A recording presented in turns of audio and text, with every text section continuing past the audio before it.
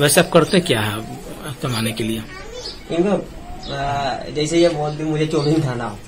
तो यहाँ पे तो मिलता नहीं है। बॉर्डर में जाओ वहाँ से लेके आओ। बस ये खुश। हमारी फ्रेंडशिप हुई फिर फ्रेंडशिप थोड़ा लव में चेंज हो गई। एक दूसरे से प्यार हो गया। प्यार अंधा होता है और प्यार में डूबे प्रेमी प्रेमिका शादी के बंधन में बंधने के लिए सारे सामाजिक बंधनों को तोड़ने से भी गुरेज नहीं करते। इंस्टाग्राम से शुरू हुई प्यार का परवान वक्त के साथ ऐसा चढ़ा कि प्यार में पागल प्रेमिका अकेली यूपी मेरठ से बिहार के अररिया पहुँच गई और सभी सामाजिक बंधनों को तोड़ते हुए एक दूसरे के हो गए।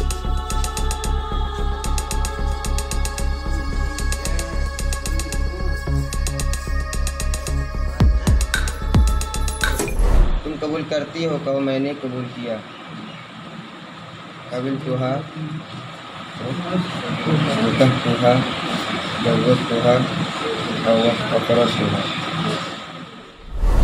हम फ़र्स्ट टाइम इंस्टाग्राम पे मिले थे इंस्टाग्राम पर फ्रेंडशिप हुई इंस्टाग्राम पर ही बातें हुई। फिर हमारी फ्रेंडशिप स्टार्ट हुई तो नंबर एक्सचेंज हुए, फिर फिर व्हाट्सएप पे बातें होने लगी। एक दूसरे से कॉल्स वगैरह पर भी बातें होती थी।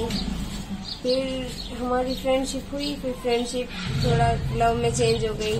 एक दूसरे से प्यार हो गया।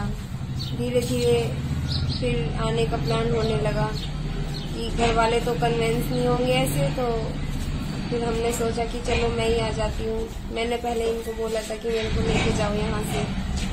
उन्होंने मना किया कि नहीं, मेरा कल्चर ऐसा नहीं है, जैसे तुम वहाँ रहती हो, इतना फ्रीडम नहीं है यहाँ पे यहाँ पे इतना डेवलप नहीं हो पाया। तो ये तो मना करते थे बट मैंने तो सोचा था कि अभी लाइफ टाइम इन्हीं के साथ रहना है। तो मैंने आने का प्लान किया। फिर आने का प्लान हुआ तो एक दिन कॉलेज आए और कॉलेज से सीधा निकल गए। वहाँ से बस में आए बस से सीधा फॉरबिसगंज आए और ये मेरे को मिले स्टैंड पर मिले और बस यहाँ पे आए। अगले दिन मिनिस्टर अंकल के यहाँ पर आए। अंकल को सब बताया अपने बारे में और अंकल ने हमारी शादी करा दी। अभी शादी करके खुश हैं दोनों। और घर के बारे में भी कुछ सोचा आपने कि घर के लोग परेशान हो रहे होंगे या उन पर क्या बीत रही होगी? जी सोचा था परेशानी तो होगी लेकिन धीरे धीरे सब मैनेज हो जाता है। तो अब आप यहीं रहना चाहेंगे आप? जी बिल्कुल। शादी किया था अब लाइफ टाइम इन्हीं के साथ रहेंगे सदम आप बताइए। कैसे क्या मामला हुआ था? बस फ़र्स्ट टाइम तो इनको मैंने इंस्टा पे रिक्वेस्ट भेजा था इन्होंने एक्सेप्ट किया। उसके बाद धीरे धीरे बातें होने लगी फिर बात लब में बदल गई। हालाँकि दिसंबर से ही प्लान बन रहा था कि ये बोल रहे थे आ जाओ मेरे को लेके जाओ यहाँ मुझे प्रॉब्लम होगी। नहीं अब नहीं रहूँगी मुझे शादी करनी है तुमसे। मेरा हालात सही नहीं था इसलिए मैं इनको रोक रहा था बार बार टाल रहा था आजकल करके लास्ट महीने में ऐसा हुआ कि ये खुद चाहिए। नहीं है अभी शादी कर लिया हम दोनों ने हम खुश हैं। किसी तरह की को, कोई परेशानी कोई बात? नहीं अभी तक तो कोई परेशानी नहीं है। परेशानी थी जो इनकी इन्वेस्टिगेशन पुलिस आई थी पूछताछ करके इनका रिपोर्ट वोट बना के लेके गई। अब फ़िलहाल तो फ्री है। अब बस दोनों खुश हैं। तो अब चूँकि आयशा शहर की रहने वाली है ये बिल्कुल कट्टर गाँव में आ गई है। कैसे इनकी देखभाल कर रहे हैं? कैसे इनको रख रहे हैं? अरे इनको पूरा टाइम मेरा ही है ये जो बोलती है मैं वही करता हूँ। बस इनका खाने पीने घुमाना फिराना सारा कुछ। जैसे इनका दिल लगे जो इनको अच्छा लगे वही करता हूँ। वैसे आप करते क्या है कमाने के लिए? इनको जैसे ये बोलती मुझे चौमिन खाना हो। तो यहाँ पे तो मिलता नहीं है। बॉर्डर में जाओ वहाँ से लेके आओ। बस ये खुश। अच्छा। आगे की प्लानिंग क्या है आप लोगों की? आगे की प्लानिंग में बस इसको स्टडीज़ करानी है, ठीक है? मैं चाहता हूँ इनको जॉब कराऊँ, एक अच्छा सा, और ये अपना बिल्कुल फ्री होके जाए जॉब करे।